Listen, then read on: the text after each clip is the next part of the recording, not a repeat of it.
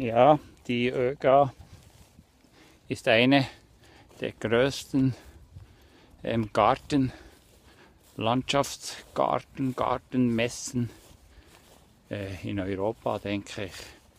Man sieht es, die ganze Straße ist verparkiert, kilometerlang neben meinem Blumenfeld und hier ist ja mein Kürbisfeld. Es hat eben leider diese Nacht wieder 20 mm Niederschlag gegeben. Ich probiere jetzt einmal, ob ich da mit meiner Motorhacke was machen kann. Und sonst fahre ich wieder nach Hause. Probiere mal. Ja, liebe Freunde, das pure Gegenteil von gestern Abend. Es hat, also ja, wie gesagt, 20 mm geregnet. Ich ziehe da eine kleine Bodenfräse durch die nasse Erde. Im Normalfall würde ich das gar nicht machen, aber in diesem extremen Jahr mache ich da ein paar Reihen. Aber ich denke, das würde dann auch, das wäre auch extrem mühsam laufen mit nassen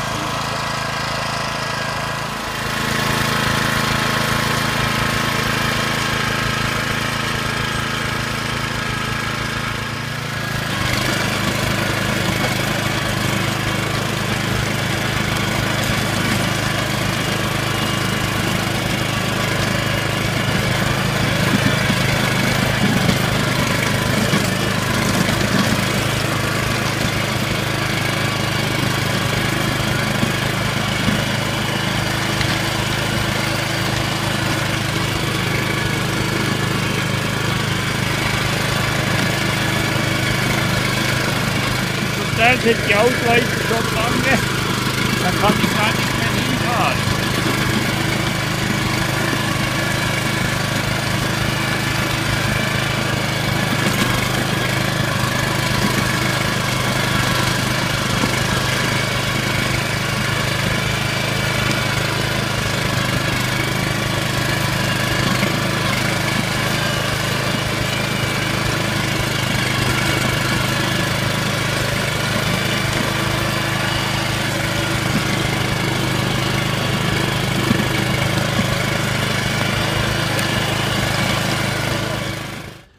Ich habe aufgegeben.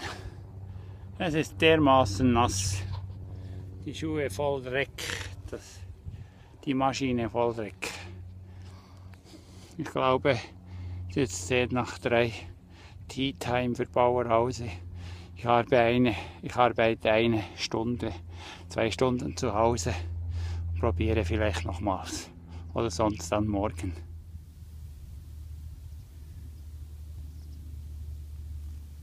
Ja, kein Wunder. Schaut es da in meinem Auto aus wie auf, wie auf einem Acker. Die Erde, die ich da rein, reinziehe, ich glaube, ich kann dann eine Grasmischung im Auto sein. so, und jetzt trinkt der Bauer Hausi noch einen Kaffee.